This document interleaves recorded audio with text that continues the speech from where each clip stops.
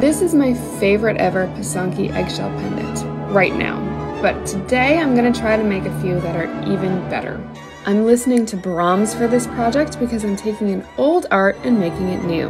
The music of Brahms is known for having the technical structure and methods of the composers that came before him, but he innovated with newly romantic themes and melodies.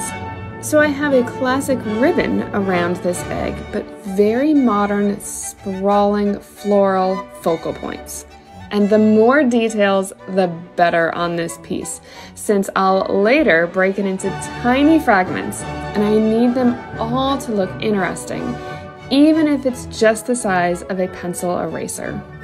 Next up, I can melt the wax off so I can finally see the gold and blues together for the first time.